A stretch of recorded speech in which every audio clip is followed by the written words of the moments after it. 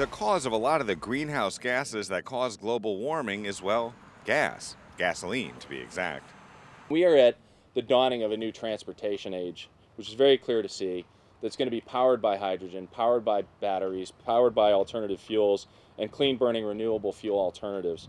A future that includes both clean air and energy independence will most likely include both hydrogen fuel and federal funding.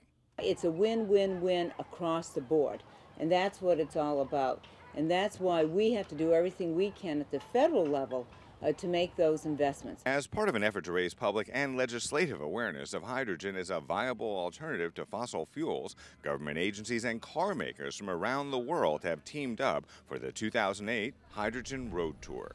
We're starting here on the coast of Maine, here with the Lighthouse iconic feature.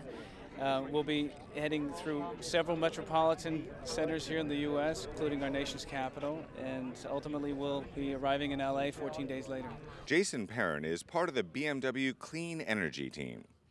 What you're looking at is the sixth generation of our um, hydrogen-powered internal combustion engines. In fact, we have over 100 vehicles on the road. We've clocked over 2 million miles and hundreds and hundreds of people have driven these vehicles. Independent tests show that the air coming out of BMW's powerful 12 cylinder hydrogen engine is actually cleaner than the air going into it.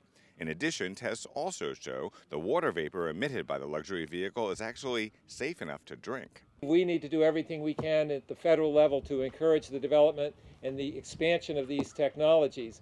Hydrogen is the most plentiful element in the universe. It can be gathered as a byproduct of natural gas refinement or produced from water by a variety of non polluting methods, including wind and solar energy. To follow the Hydrogen Road Tour as it makes its cross country journey, just log on to www.hydrogenroadtour.com. I'm Grant Winter reporting from Portland, Maine.